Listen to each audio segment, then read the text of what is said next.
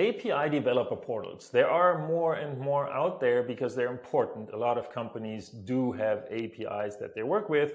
And today we'll talk about the state of API developer portals. And with me is Alexandre Airvault. Hey, Alex, are you doing? Hi, Erik. Doing great. Thank you. Thank you for the invitation. Yeah, so you are the, the co-founder and CEO of Blobr. So you are selling a developer portal. And you have gone through the effort of creating a report that looks at the state of what companies are doing, what kind of features they're using, what pricing models they're using. And I find that really interesting because I think for most of us, compiling this data would be really hard. And you've gone through this, and we'll link, of course, to your report um, from the video.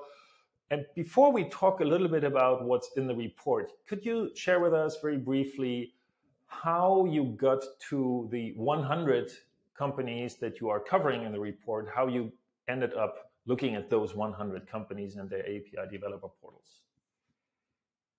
Sure. Um, yeah, happy to share that. So actually, we map a lot of uh, companies who have APIs. So whether they are API first or not API first companies.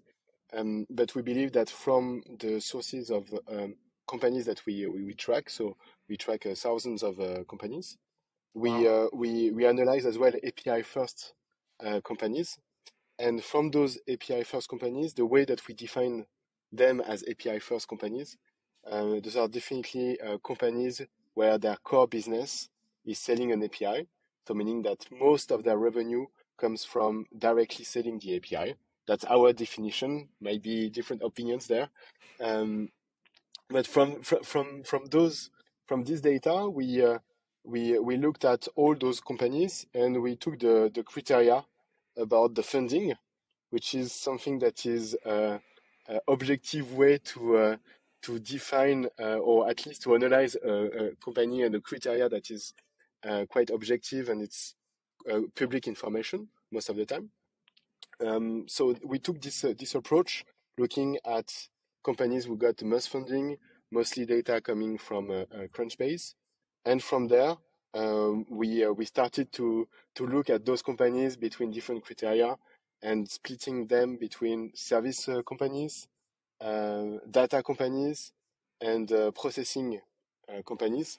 So definitely service companies, companies proposing a service like a signature uh, service, like you would have DocuSign. Data, it can be like weather information, weather data, and processing more in the in the spirit of uh, AI companies. Um, and from there, uh, we uh, for the methodology to look at the different criteria that we would uh, uh, define, we we looked at the top ten companies in terms of funding, which formed and established the baseline of the criteria that we want to analyze in terms of features of the portal, pricing strategy, and so on. And we took those criteria, which are the baseline, to analyze the rest of the 100 uh, uh, API first companies.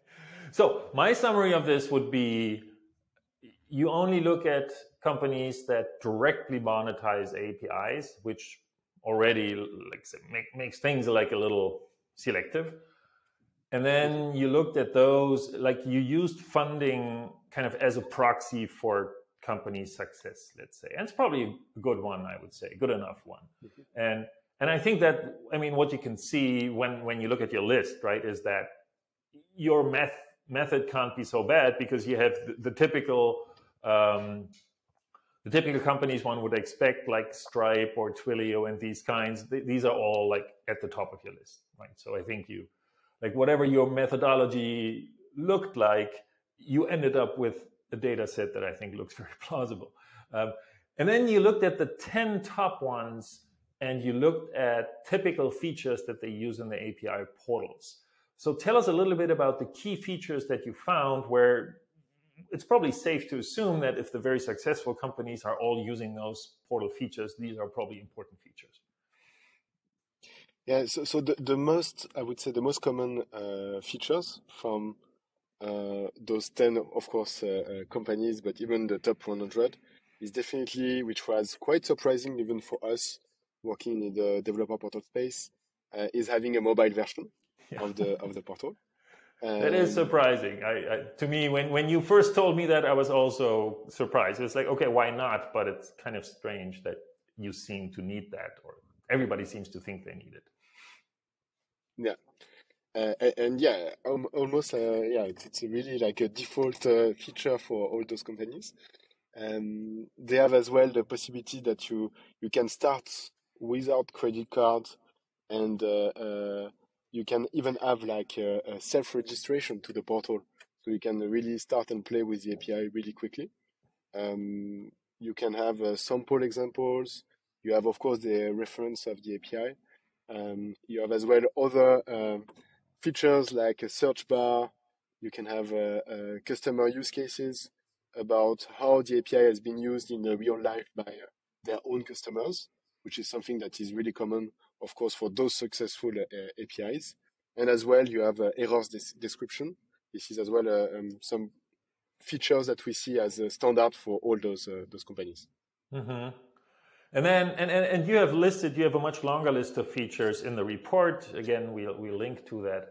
And I think it's just interesting to see. And for, for everybody looking at the report, I think it's just an interesting inspiration to think about the features that maybe not everybody needs all of them, but at least thinking about those, being aware of those features is probably a good idea.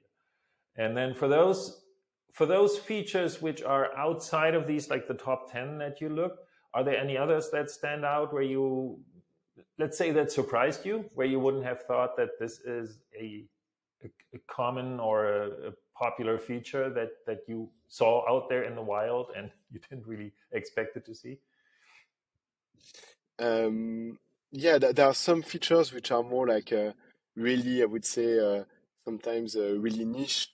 For instance, having diagrams, and we have seen that uh, mostly for APIs where the, the price is really high and seems really complicated and it's almost like enterprise uh, API selling to enterprise enterprise and we have seen that there are a lot of diagrams which are sometimes quite complicated but providing like the full picture of how it's working mm-hmm. um, and we have seen it in very specific uh, uh, cases so interesting one but more generally speaking we we see that the best performing or the or I would say the the top 10 companies and or I would say the top uh, top 20 and even 20, top 30 uh, in terms of funding and uh, and as well other success criteria potentially like traffic on their portal. What they have in common is they tend to have more API use case approach. So really defining specific use case for their customers, uh, something that we have mapped and in proportion they have it much more than others. They have as well the logs of all the uh, API calls that are available for, for their customers. So something really interesting as well. And then they have other things that we have analyzed, like having a, a portal that is uh, optimized for SEO, mm-hmm. having the possibility to to have, for instance, a direct chat as well. So you you can uh, directly communicate with uh, your API provider. Another feature that is really uh, picking up and we have seen uh, very interesting is definitely a CLI uh, growing like uh, crazy in a, in a, in um, we, we have seen that as a company, but we have seen as well a, a, few companies that are performing very well who have a CLI for their customers. Uh, and then, of course, alerts in case of uh, misuse misuse of uh, of the API or when you are reaching the quota of your plan if you are using an API in a specific plan. Those are the, the yeah most different type most most features that are differentiators. Okay, and since you mentioned it, and I think that's a good um, segue for us. Um, plans. So pricing plans are one of the things that I think a lot of people are always thinking about, right? How should we do API pricing? If if that is something that you want to do, not everybody does it, but in your sample of companies, everybody does it because that's your definition of uh, the companies that you included. So, what did you see in terms of pricing plans? I think that's another interesting insight that that you can find in your report. That you looked at all these pricing plans and you also looked at what models companies use and, and what they base these models on. So, what did you find there? Yeah, so sure. So, basically, we see um, the way we consider things is, uh, and we have seen the data. It's either they have a subscription model so let's say that you have a, uh, monetization based on, uh, let's say, 100 euros for one month, and you can uh, make like a 1,000 calls. Or you have a pay-as-you-go business model where the, the pricing is going to be linked directly to the usage that you have of the of the API. What we have seen is definitely that um, for processing APIs, so APIs uh, which are more related, for instance, to AI uh, uh, at the moment, um, no one is using the subscription model. Everyone is going through the uh, pay-as-you-go model, so really pay per use. Um, and that we have seen as well that the companies that are the most mature actually they seem to have like a pay as you go pricing model and they tend to have a pricing model which is not linked to the API calls, which is kind of uh, the obvious thing that everyone thinks about when uh, thinking about monetizing APIs based on calls. But actually, they have refined at a, at a very granular level what is the value metric that they want to uh, monetize against. So instead of calls, it can be monthly active users, it can be resources, it can be uh, signatures if it's uh, di- digital signatures. Really, the, the the core value that you provide through your through your your API. So we have yeah. seen it uh, a lot, and it's super interesting this part. Yeah. Yeah, and I think that I mean to me that sounds like it makes a lot of sense, right? In the end, it doesn't really matter how often I call an API. It also that depends also a lot of on how the API is designed, right? Some APIs need more calls than others, so it you know counting calls seems like a strange way of really assessing value that I get out of an API.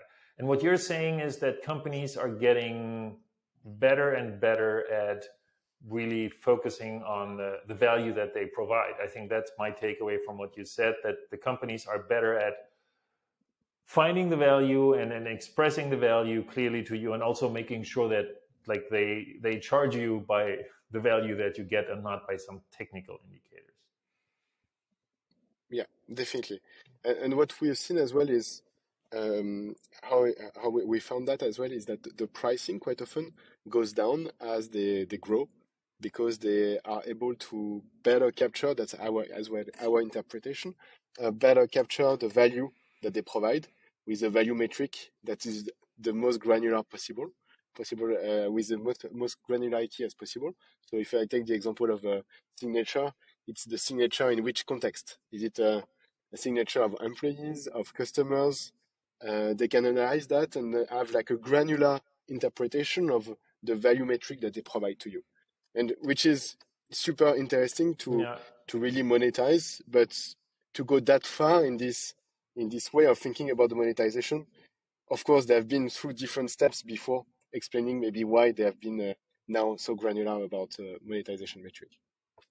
That is actually fascinating. But, you know, I, I think that as a company, you know, as you're growing, what happens, you, you, you have more customers, right? You learn more about your customers. You understand more what value exactly you provide. You start segmenting them into you know to those i provide this value to those i provide that value. And you also may understand that for some you can actually tweak the product a little bit or you you can provide a slightly different service right? So i think just the the way how companies are able to target their markets so to speak right? It just becomes more refined as their markets are growing because they understand their markets better and they can also segment the market better into different populations that to me that is really an interesting um, observation there.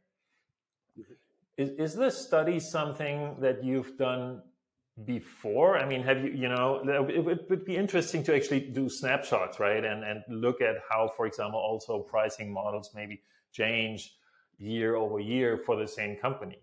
I think that also, is that something you've done or you consider doing? Yeah, definitely. So, so this was a huge work for, from the team, uh, analyzing the all of this. It took like uh, uh, more than two months of work um, by several people. Not 100% of the time that, but uh, yeah, long, long, long time. So we, our data is, uh, you know, it's not a snapshot at a very uh, precise date. It it spans among several months. But definitely, we plan to do the same next year and have this view uh, every year of how the market evolves uh, in terms of what are the features that are uh, used in terms of developer portal and how the pricing strategies evolve over time. So it's definitely something that uh, we plan uh, and consider to do uh, next year again. Yeah. Very nice. Very nice. Okay, so Alexander, thank you so much. I think this is really, really interesting, and I, I'll, you know, I'll take you up like with, you know, having a report next year as well. So you'll be back a year from now, and I'm looking forward, you Amazing. know, to to have your report then, you know, saying, and this is what changed, because I think these are really the interesting things that, or even more interesting things, right, that you can get when you you have not just one, but you actually have this evolution. But for now, I think it's already quite interesting. So if you're interested in API portals, if you want to build one, I mean, set one up for your company. If you're interested in what others are doing, what popular features are, check out the report. We'll link it from here. And um, I think, Alexander, any closing words from you? Um, yeah, that's uh, always um, what, what, we see is uh, really fascinating. Is the best, maybe uh, another uh, final thought about that. The best uh, companies uh, put extra care for their customers, and um, and it tra- it translates in understanding how your your customers use your portal and communicate appropriately. And it's just fascinating to see how the Stripe and Twilios of the world do that. So really thinking about how the portal is not uh, just a window of your API, but it's the opportunity to create a long last, long lasting relationship with your customers. Very good closing words. Thanks. So, everybody, check out the report. I think it's really interesting. We'll link to it. And with that, we're done for today. Thanks, everybody, for joining. If you found this video interesting, please give it a thumbs up, consider subscribing. And with that, keep getting APIs to work. Bye, everybody.